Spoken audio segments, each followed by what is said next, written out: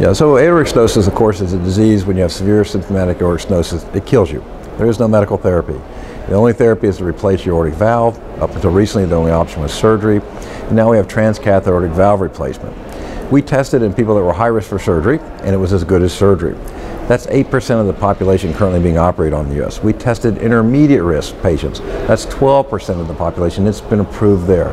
This trial is testing TAVR against surgery in a low risk population. That is the remaining 80% of the population that you'll see in your office with severe aortic stenosis. So the outcome of this trial is not just going to shift us a little bit, but if it's positive, it would be a seismic shift in what we can offer our patients. So what we did is we, we, we tested the self-expanding supra-annular valve, which is the CoreValve Evolut family of valves, against surgery. Surgeons were allowed to choose any valve they wanted as long as it was a biologic valve.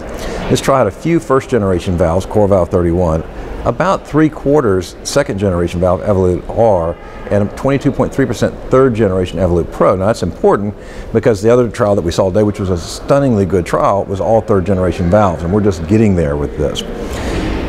What the, the primary endpoint of the trial was all-cause mortality or disabling stroke at two years. Now we did this with a Bayesian analysis. Bayesian analysis lets us, when we have 850 people at one year, actually have a predictive model that moves everybody forward to two years. I don't want to get into Bayesian unless you're interested, but it gives us a good endpoint. It's been validated over and over again. So the endpoint of all-cause mortality disabling stroke for surgery was 6.7%. For TAVR, it's 5.3%. That gives us a difference of 1.4%. We used an absolute 6% non-inferiority margin, which gives us a posterior probability curve that's greater than 0.999. Now, for those of you that need p-values, if you subtract that from 1, you get a p-value of less than 0.0001 as a good approximation. We do a lot of sensitivity analysis, and in every sensitivity analysis, TAVR maintained its non-inferiority. Now we had seven powered hierarchical endpoints. For one year, it was effective orifice area, mean gradient, changing your NYHA classification, and changing your KCCQ uh, summary quality of life score. If all those pass, since they're hierarchical, we then go down to superiority, and we have effective orifice area, mean gradient at one year, and KCCQ at one month. All those passed, which meant that at one year, TAVR was uh, significantly better than surgery for effective orifice area, for mean gradient, and for return of quality of life at 30 days. Now we had a, a, variety of other endpoints that we looked at. One was a, uh, a composite safety, which included you know, mortality and stroke and atrial fibrillation and bleeding and kidney injury. And at 30 days, TAVR was superior for that. And it was also superior for subcomponents of stroke, bleeding, and kidney injury. It was superior for atrial fibrillation. And it was superior for, uh, for hospitalization.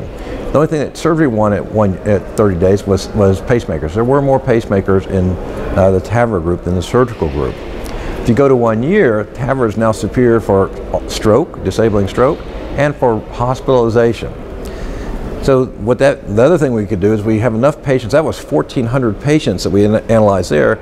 We have over 800 at one year, so we can do standard frequentist Kaplan-Meier curves. So at one year, the, the mortality for TAVR was 2.3% and surgery was 3%. Really low. At 30 days, in fact, it was 0.7 for TAVR and 1.2 for surgery. Very good in both groups. Amazingly low. Then if you move to disabling stroke, doing a Kaplan-Meier one year is 0.7 for TAVR and I think 2.1 for surgery. So that was significantly uh, in favor of TAVR, uh, statistically significant.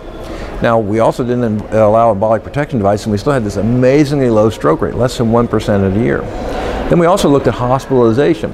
And at one year, 3.1% of the TAVR patients got hospitalized and 6.3 of the surgical patients. Again, this was significant for TAVR as another win. So the other trial we saw, the partner trial, which was a stunningly good trial with really good results, used an endpoint of all-cause mortality, disabling stroke, or hospitalization.